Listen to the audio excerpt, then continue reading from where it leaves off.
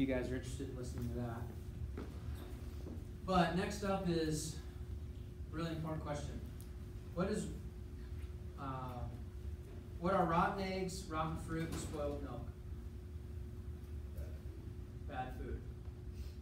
Or groceries. Okay. How does an alien count to 23? On his fingers. Gotta remember who, who authored some of these, okay?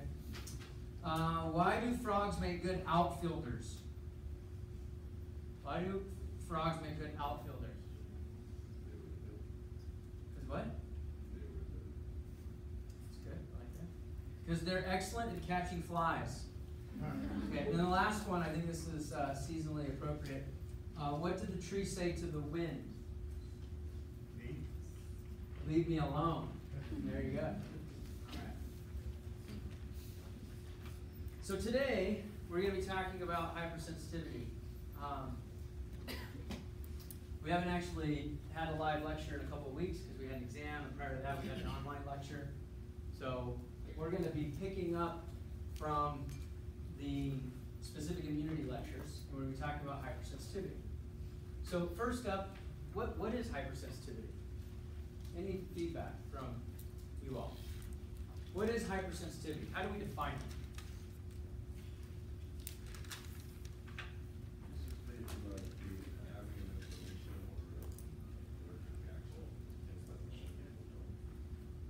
Okay. Ha- ha- having so the only thing in there that I didn't agree with was the word normal, but but uh, having inflammation or what did you say? Or a reaction reaction to the materials that most people that maybe most people may not react to. Okay, I like that. All right, what's normal, right? Show me a normal person. I'll show you something wrong with them, right? Like, yes, I'm overly critical, but there's no normal. It's all relative. Um, so this is actually a physiologic response. It is quote unquote a normal physiologic response.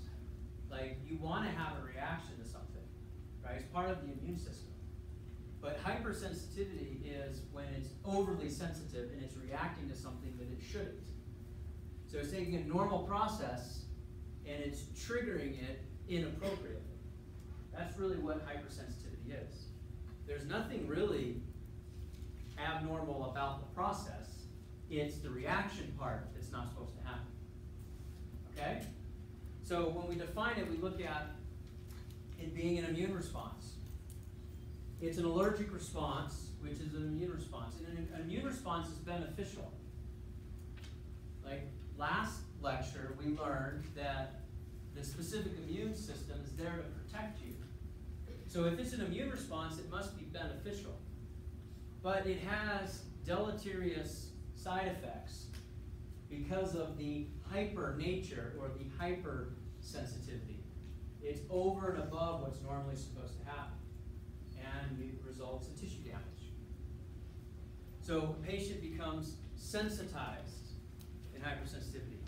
That means that they're, they're exposed to the uh, antigen, and now the immune system is triggered to respond or be sensitized to that antigen. It's inappropriately, I use the word inappropriately, meaning it's too much. It's too much when it's triggered, and it's too much when it's maintained. And it's usually very difficult to control because it's a positive feedback system. Meaning, once it gets triggered, it kind of exasperates over time. It doesn't necessarily diminish. So, hives is a perfect example. How many of you have actually had hives? Or know somebody who has, right? So, you get an allergic response, and typically, like 10 15 minutes later, it's worse. It's actually much worse. And maybe it's to pet dander, or maybe it's to um, olive trees if you're down in, in the Phoenix area, or maybe it's pollen. It could even be ponderosa uh, pine tree pollen. And you have that response, and it, it actually accelerates. It gets worse before it gets better. So we have four different types of hypersensitivities, and you found this in the reading. And I want to mention something about the reading. Um, I actually was looking at last year's reviews. Why? Because I guess I'm kind of demented like that. Um, so I, I read these reviews when they come in, and then I go back and reread them them just to make sure that um, there isn't something that your predecessors have said that would be um, insightful or helpful for me to be more effective. So I was reading through the, the reviews um, from last semester, and I came across one in particular. Um, why is it related to the slide? Where am I going with this? Um, because I just mentioned the reading. That's what triggered it. That's kind of how my mind works, right? Whoops, something shiny. So the reading in this particular feedback from the student from last semester, anonymous, don't know who it was, said, um, "Gosh, there's so much reading for this class, and I feel like it's like overkill." And so that was their feedback. That was their constructive feedback. Like maybe you could shorten the reading. Well, the reading, my friends, is optional, but highly recommended. Right? If you remember back to the first day, like my philosophy is I want to expose you to a broad amount of information. Right? That's my job, is to help present you with information. And so the readings are broad. Now the readings are limited. I don't say read chapter one through five. I actually give you specific pages. So I'm already kind of honing in what I think is more extraneous than necessary. But even from the readings, there's questions that are far more narrow on the pre-quizzes. And then we cover stuff that's very specific on the lectures. And then on, again, the post-quiz, we kind of broaden it back out again because you can do open book, open notes, open internet. But then when it comes time for the exams, I'm only going to write questions based upon what we lecture on, not the readings. Okay? But the readings, if you do them at the cadence of the class, where it's I do the reading, maybe over the weekend, class is on Monday. Okay? Monday morning, I take my pre-quiz with my reading open. Um, prior to that, I flip through the lecture notes just to make sure if there is an answer to the lecture notes, I know where to find it on the pre-quiz. And we show up to class these four statements on the screen are not a foreign language. Type 1, Type 2, Type 3, and Type 4. You may not remember exactly all the details about Type 3, for example. We're going to cover it today.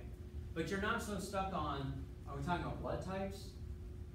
Are we talking about personality types? What are we talking about? We're talking about hypersensitivity. And you know the topic and the general uh, aspects of what all this information is on the slide. This is a very valuable slide to study for the next. There are all sorts of test questions from this slide that I could imagine. Can you? And that's a great way to look at the lecture notes and study is, okay, he actually said, and I can prove it because it's being recorded, that this would be a very valuable slide to study, right? So maybe I should try to generate test questions on this slide for my roommate or for my study partner or in my SI session. That would be a really good practice because that's how I look at this. I look at this and say, okay, um, I could ask just a straight up level one question on, you know, what is, which of the following is a um, type IgE mediated response? And list one, two, three, and four. That'd be what we call a level one question. Now, a level two question is where you actually have to think about it a little deeper. You know, like, so for example, I talk about type 1, meaning that these individuals produce more IgE. That happens to be the lowest antibody that's in circulation of all of the immunoglobulins. And it mediates these allergic reactions, these reactions to parasites. And it's triggered through an excessive histamine response. So if I asked a question about histamine release, right, which is part of the lecture of this slide, you would know the answer would fall into the category of IgE. That's a second level question because I'm not just asking what is IgE, I'm saying what about IgE is unique, and that's the histamine response. That's the al allergy response. That's why if you have allergies to certain things, you take an antihistamine. Does that make sense? You take it, it makes you drowsy, but the antihistamine blocks the histamine response. And then if you walk into a house with cat dander, you're not like blowing up you know, 400 pounds, you're swollen all of a sudden, right? So those are level one, level two questions. Level three questions might even go a step deeper as we move through the lecture. We'll talk about some of the mechanisms of a type 1 IgE mediated response. Do I expect you to answer all three levels of questions? Yeah, you can see certain questions on the exam, they're super easy. Those are level one questions. Others require a little bit more thought. And those are level two questions. And then the real difficult ones are the ones that are mechanistic. And I'm trying to make sure that you understand how it works. Okay? So just from this slide, we could generate like three level questions all on type one. And I've only covered twenty-five percent of the material on this slide. You with me? So it's a pretty important slide. All right, let's continue. Type two. Tissue mediated. Utilizes IgM as well as IgE, or IgG, excuse me. Um, common responses here are going to be blood transfusions. How many of you have donated blood in your recent past? Okay. So we've been doing blood transfusions for 200 years, since 1818, um, successfully. Right? There were attempts before that that didn't work out so well. And we know that there's certain proteins or antigens that are expressed on a red blood cell. And they come in the format of antigen A and antigen B. Some of you have antigen A on your red blood cell, some of you have antigen B, some of you have both. And some of you have neither, and you're type O. And so if you donate blood that has antigen A to a person that has antigen B, you're gonna trigger a rejection, a hypersensitivity to that antigen A. Okay? Same thing that happens with rhesus factor. It's a protein that's expressed on the surface of a red blood cell, there's erythrocyte. Some of you have it, some of you don't. So if you do have it, you're rhesus positive. And so if you have it, you're type A, you're type A positive. That's where that comes from. So A positive, B positive, AB positive, and then the subsequent negatives of all of those. And then you have your O, which doesn't have any of the AB antigen, but you could have the rhesus or not, so you could be O positive or O negative. If you're O negative, you're considered the universal donor, because you don't have any antigen on either category of AB or uh, uh, rhesus, so you can actually donate blood to anybody and, and everybody will be fine. So what's the universal acceptor? AB what? AB positive, that's correct. Okay? So type 2 is a great example if you do it inappropriately and you reject, that's because there's an antibody antigen rejection. And we'll get into that. Okay? Yes, sir. When you're talking about blood, tran- transfusion, blood transfusions, you're only talking about red blood cells, red blood cells, and? Uh, yes, for the most part. So if any other type of cell was trans, trans, uh, donated to another person, it, he was sent, he or she was sent to the rejection. Uh, I'm not, su- I'm not If I give a- directly following. If you If I could, give a kidney cell, for example, or a tissue to somebody else, those tissues still have antigens on them. That's correct. That's correct. You're talking about donating uh, organs. Yes. Yeah, yeah, we're getting, that's type four, we'll get there. Where type two is, just to be clear, type two hypersensitivity is only referring to an antigen antibody complex, um, where, or ana- antigen antibody reaction, where antibodies are being made and circulating in the bloodstream. Um, with transplant rejection, you actually have T cell interaction that's why, you have that, but you actually have T cell interaction, so we'll get there. So it's more complicated. But aren't, if I'm giving blood, aren't I giving also T cells? Uh, yeah, but not typically activated. Right? There might be some circulating T cells, but they're not in an activated state. And you would test for that before you, like the blood bank tests for those things, amongst others. Okay, type three. This is an immune complex mediated response, where you get an antigen antibody complex that forms, and that complex actually circulates around the bloodstream. We'll look at that here in a moment and it usually gets stuck somewhere. And then, and some examples here are autoimmune diseases like uh, systemic lupus. Type 4, this is what I was referring to earlier as being um, T cell mediated. So the first three hypersensitivities, 1, 2, and 3, are solely B cell mediated. Antibodies are being produced and there's no T cell involvement. So it's B cell mediated. Type 4 is considered um, transplant rejection and involves T cells. Now, B cells could be involved, but because T cells are involved, it's called type 4. This is a delayed hypersensitivity, and in examples that we'll see are type 1 diabetes, where you're basically attacking your beta islet cells from your pancreas, and they lower their production of insulin now. Um, another example of type 4 are, is transplant rejection, like we talked about. And we'll get into some other examples here momentarily as we walk through the lecture. But first up, let's talk about type 1. So type 1, IgE mediated. It involves allergens.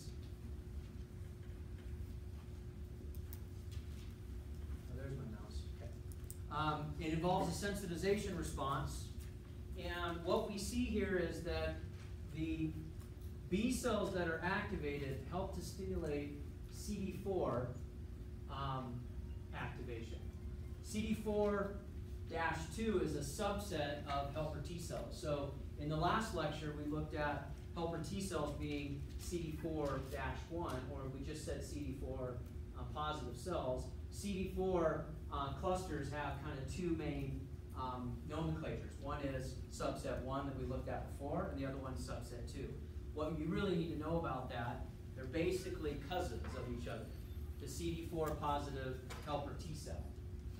And so you have CD4 positive, subclass 2, or a subclass of helper T cells that are involved in a type 1 reaction. And the mechanistic process that transfers this um, response is by releasing these cytokines or these chemical mediators. So if you look here at the bottom of this slide, you can see and appreciate that there's an immediate hypersensitivity where you've got vasoactive amines that are released. This is minutes after the exposure to the allergen. And then there's a delayed response that's two to eight hours after the allergen. And all of this cascade is happening from these mast cells that are being activated and they dump their contents, mostly being histamine, but not exclusively being histamine. And if you back up on the slide, you can appreciate there's the allergen here, here's the lining of the nose, for example, a mucosal lining. That allergen binds, it binds uh, to a B cell that makes antibodies. That B cell triggers this helper T cell to be stimulated. Now you produce antibodies that find their way to mast cells. That triggers the mast cell to dump their contents, known as histamine or vasoactive substances. Now the story continues because when you have a second exposure to that allergen, it's usually far more aggressive.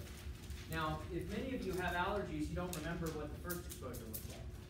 Okay? But how many of you are actually allergic to like bee sting? Okay? Or have a food allergy, like to peanut butter or peanuts or nut allergy. Okay?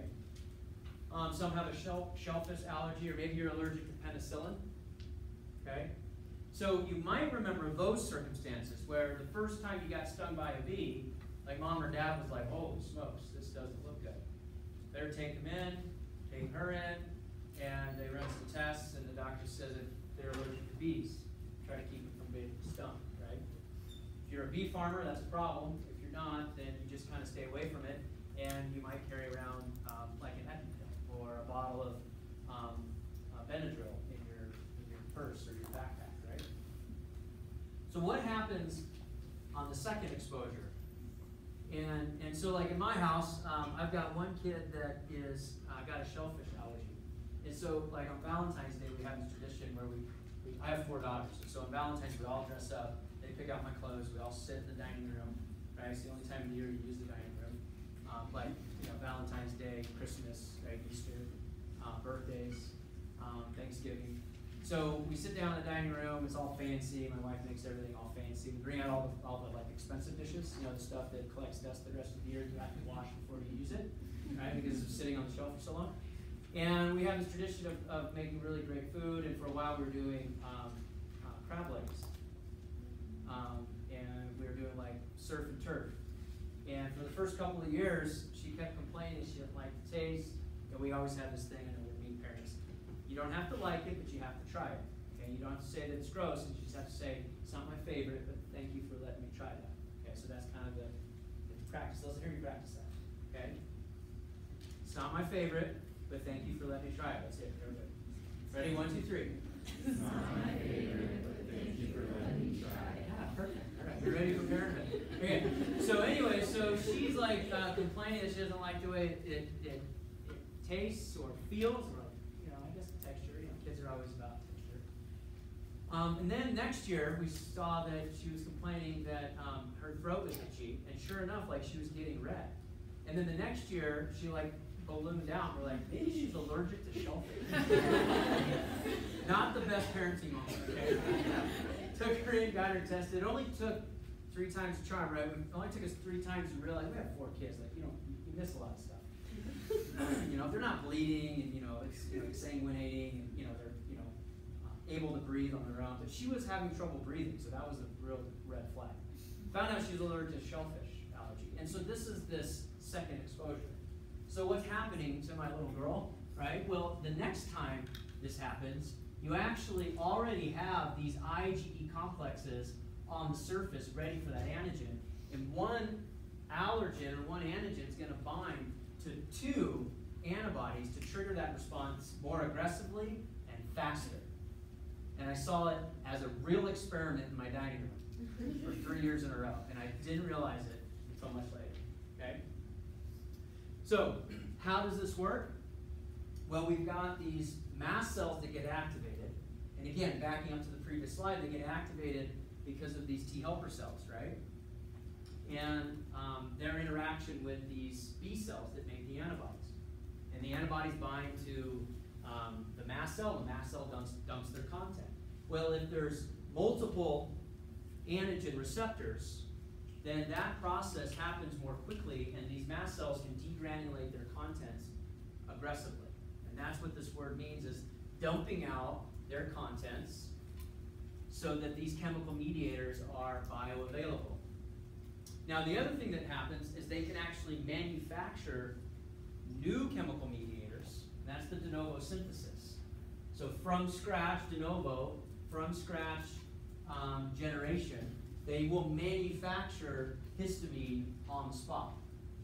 And this happens after the second exposure. So the second exposure happens much more quickly and is much more aggressive. So what are these symptoms due to? Well, they're usually due to these vasoactive amines like histamine and other cytokines that are found within that mast cell.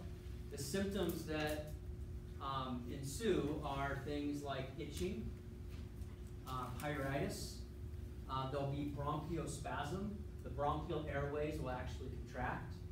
There'll be laryngospasm, that's the back of the throat will contract. There might be itching on the back of the throat as well, especially if it's a food allergy. Uh, there'll be edema, that's the swelling that takes place. There'll be redness of the eyes. Nose will start running, rhinitis is the word for that, rhinitis, R H I N I T I S. Patient can become hypotensive, meaning blood pressure actually drops because a lot of the fluid in the bloodstream is leaving into the tissues. So they become hypotensive, their blood pressure drops. That's very dangerous. Um, gastrointestinal cramping could be diarrhea, of course, if there is uh, food allergy. Um, there is tremendous cellular infiltration into the tissue, and there is a lot of tissue damage that can actually take place. This is all under type 1 IgE. Right? So allergies are a big thing. They can be really problematic. You also have excessive hypersecretion of mucus production that takes place um, due to one of the cytokines that's in the family of these vasoactive substances is called interleukin 13, IL-13. And IL-13 comes from the mast cells and triggers mucus-producing cells to ramp up mucus production. Why is that? Well, usually if there's an epithelial interface, what the body's trying to do is create a protective barrier so more, no more allergen comes across, so, so that makes more mucus at that um, outside the body interface um, by releasing more interleukin 13. Okay, what does this look like? Okay, so here is a picture. This is a normal larynx up top. This is looking down the larynx, okay? And this is my daughter's larynx when she was having this. Um, yeah, I have a laryngoscope in my office. I'm just kidding. this is not my daughter's. You're like, that's messed up, dude. That's not my daughter. Um, this is actually a patient who suffered from an anaphylactic reaction to penicillin. And so you can see the airways actually close off, right? They narrow, You can see the swelling, the inflammation that was mentioned earlier-. You can appreciate the extent of the inflammatory burden that's here because the tissue is swollen, it's edemic, it's inflamed, and it's also extremely red in comparison kind of to the lighter pink color that it normally is. Anaphylaxis is an aggressive response um, due to histamine release. We usually see this with food allergies, environmental allergies, that would be like pollen or dust or pet dander, um, wasp or a bee sting, sting or the venom that comes from those uh, organisms, as well as drugs like penicillin. Question?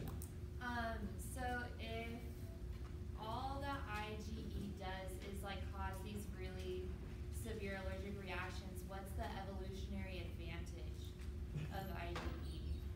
That's a great question. I don't have an answer for you. I'm not sure there really is an advantage. Um, you know, and again, is that a Well, maybe, but there's a lot of examples that we find biologically that, you know, people are scratching their heads trying to figure out what's the advantage of having it. I don't think there is one, right? What's the advantage of having cancer? Right? It's obviously evolved over time. And I don't, I don't know of a single advantage to the organism for cancer being present. So there's a lot of those examples, so, it- you know, it's answering a question with a question, but I'm telling you, I don't know, I don't know the answer. I can say this, though, these processes are normal processes that typically would be defense mechanisms. Right. And so they're there as normal processes in case there's a foreign object or a foreign invader that you respond to it. But what's happened is there's been some breakdown over time, and now we hyper respond to an outside invader. Where if the response to some of these things was 75% reduced and it wasn't uh, exaggerated the second exposure, it would be a minor, minor discomfort, but it may not be life threatening. And, and so why did it move in that direction? I don't know. But there's a lot of examples biologically where we don't know why it evolved so aggressively. Um, you know, could there be beneficial mutations in the body? Sure, there could. That's all cancer is, is a mutation. So are there potential beneficial mutations that can take place? Sure. I mean, I've watched the X-Men movies. I mean, those all seem very believable. Um, but obviously with cancer, something's gone too far, and I don't know why. I don't think anybody does. So you said um, levels are typically lower in like majority of the population, is that correct? Than, than people that are hypersensitive, okay. So do they have more from the get-go, like they're born with Yes, they're born with more circulating okay. Ig. So there are people, there are patients that are more susceptible to hypersensitivity via type 1 usually their circulating IgE levels are a little bit higher than norm, right? What's norm? Well, there's a normal physiologic range, they tend to be above that. Um, and you can see that with, um, a blood sample. So one of the symptoms for uh, type one was you said it was peritonitis. Peritonitis. Rhinitis, runny nose. No, the other it was Pruritus, Pruritus. itchy. Oh. Okay, type two. Moving on to type two. So this is um, where we talked about blood transfusion rejections, right? Type A, type B, type AB, type O. O wouldn't be rejected unless it was O positive and you gave it to an O negative person, right? Or anybody that had, um, uh, that was negative for rhesus. But some other examples here um, that can show up on circulating antibodies are type 2s that result from the production of IgG and IgM. And these are antigens that are typically found on the surface or within the cell itself. And so that's why we talked about the red blood cell example or the erythrocyte example. But there are other cells that have many specific antigens that are similar that um, uh, could actually bind to the plasma membrane, causing a type 2 response. So, for example, in this slide, we see at the top a patient that wrestles with um, a streptococcal infection of the throat. Okay, so they have strep throat. How many of you have strep throat in your life? It's very, very common. What do you do? Right? You're like, ah, do I have like, ah, white caps on the back of my throat, right? Everyone's like, look for the white caps, which isn't a dead giveaway, but a lot of times it usually is an indication that there's some sort of infection in that lymphatic tissue. So you look for the white caps, they culture it, they put it in a petri dish, they run the test to see if it's positive for streptococcus, and then what if it is? What do they do? They give you a, a prescription or a, a re- regimen of antibiotics. Well, that strep throat or that streptococcal infection is not just in your throat, right? It's circulating through and it's in your circulatory system. That antigen for streptococcal is in your bloodstream and it's probably in your lymphatics, and that's why it took residence in your tonsils, which are lymphatic tissues. And these, these lymph nodes are filters, and they collect this, um, this uh, strep infection, and it, it exaggerates that response right there, and it gets your attention. Um, so if the antigens are circulating in the body, so before there was um, widespread use of antibiotics, people will get over strep throat um, on their own. Okay, It- you, you, don't always have to have a prescription. It happens um, to be that if you have a prescription, you don't have to wrestle with it as long, so it's much more convenient to get a prescription. Uh, you feel better faster, right, and it fights the infection. But your body is going to manufacture antibodies against that strep bacteria. Okay? As it manufactures those antibodies, that antibody can circulate around the bloodstream. As it circulates around the bloodstream, it may bind to other tissues that have antigens that resemble strep. Okay? It's not strep, but it's circulating around the body. So as it circulates around the body, it finds an antigen, for example, in the heart tissue.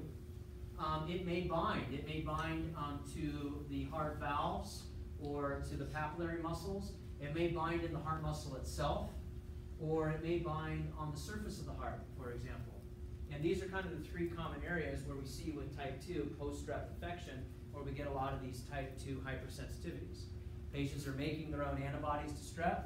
There's antigens in other parts of the body, namely the, the heart itself, um, that have antigens that are very similar in design. Uh, and so it binds there and it causes this um, inflammatory reaction. And historically, we've referred to this as rheumatic fever. Okay, so if you look at old medical journals or you watch old movies or you're a little house on the prairie fan and you know people are dying because they had a normal cold, these are some of the things that would happen back then. We didn't have widespread availability of antibiotics. Patient would get strep throat, for example. They would develop their own antibodies. They would get over the, the fever would break, right? They would feel like they're loose, you know, junior was almost on was almost gonna die and the fever broke, and then years later they have heart problems and they pass away at a younger age based on heart problems. And there's always this concern that there was some correlation between uh, this rheumatic fever that they had younger as a younger kid and, and the incident of their heart problems later in life. And there is a connection, it's because of type 2 hypersensitivity. Okay, so let me just finish this slide. We have a couple questions. So this is cardiac tissue that you see here. On the right and the left is normal myocardium. Okay, it's striated muscle, very similar to skeletal muscle. So normal heart muscle here, normal heart muscle here. This is a scar. And this is a scar that's isolated that's not because of a heart attack. This is uh, a scar that's isolated because of an individual that referred to this um, named Ludwig uh, Aschoff. And so these are called Aschoff bodies. They're nodules found in the heart in individuals that suffered from rheumatic fever. Um, they're a classic result of inflammation of the myocardium that's not due to a myocardial infarct. You get connective tissue that's inflamed, there's a wound that takes place, there's scarring, it eventually resolves and it leaves a piece of tissue that is no longer functional. Example of a type 2. Question back here and then Terrence. So, what happens when you keep getting strep throat? Because I get it like four times a year. Wouldn't I like be producing antibodies that would like recognize it, and I wouldn't be getting this sick? Yeah, so um, A, you should probably use your own water bottle from now on. Um, but B, um, so the recurring strep infections. Uh, some patients are much more susceptible to strep infections than others. So that's that's you. Um, and, and you do tend to grow out of it. Like um, it's usually a childhood, young adult phenomenon, and then like when you get old, like me, you have other problems, but not strep throat. So that's that's good news, right? yes, Jerry.